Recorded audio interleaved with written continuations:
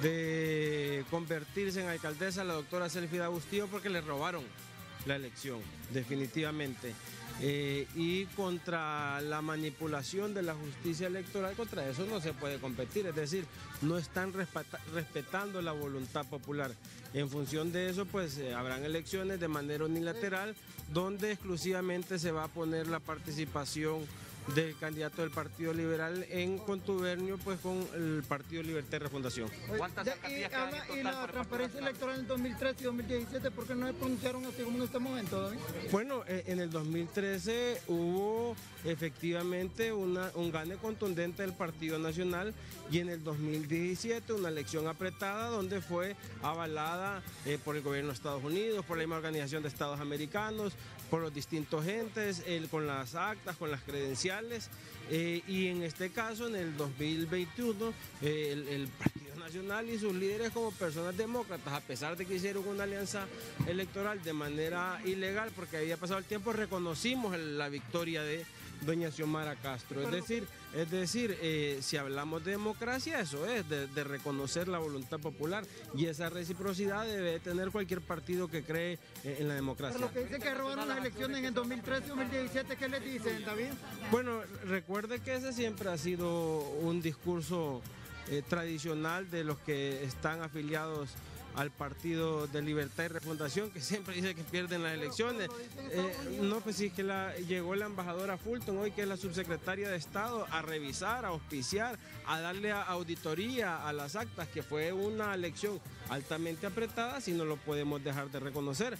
Pero al final, pues eh, las actas y, los votos, porque hubo conteo especial sobre la elección presidencial, determinó pues que el Partido Nacional había ganado. Es falso lo que hay los fiscales del Distrito Sur, entonces un corte de energía en su residencia, al igual que la del diputado Pedro Chávez. No, es totalmente eh, falso.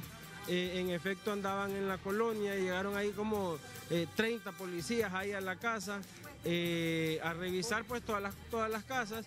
ahí le dan a uno la constancia definitivamente que uno está pagando la energía bien, de que todo el contador está bien, pero como claro hay cultura de desinformación, de odio a través de las redes sociales, entonces manipulan porque vieron, pero no es que andaban en la casa de David Chávez, solo ahora, ahora solo en la casa de David Chávez y probablemente en la casa de otras personas, llegaron a hacer aquel gran escándalo con 20, 30 eh, policías, pero cuando llegaron entonces ahí llegó la, autoridad, le, le, pedí a mi esposa que me mandara el, lo que dan ahí, pues la LN y aquí me mandó, mire que dan aquí el tema de, aquí está bien, orden dice, mire, dice, medición en buen estado.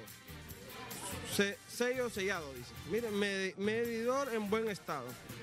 ¿verdad? Pero como usted sabe, la información ya lo mira en una caja la policía, están robando energía, o sea, es, una cultura de odio.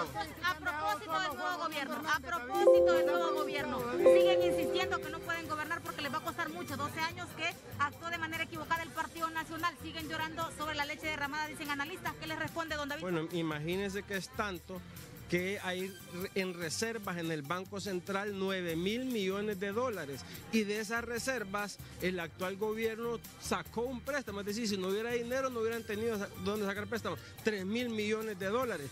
Pero sin embargo sus promesas de campaña era quitar los peajes, no lo han quitado. Su promesa de campaña era abaratar los costos del combustible, siguen aumentando. Su promesa de campaña era vender el avión presidencial, eh, no lo han vendido. Su promesa de campaña era dar trabajo y eliminaron la ley de trabajo. Entonces yo creo que ya no se puede eh, vivir eh, sobre, sobre las eh, promesas que no se han cumplido, que cumplan y que le resuelvan el tema del trabajo al pueblo hondureño.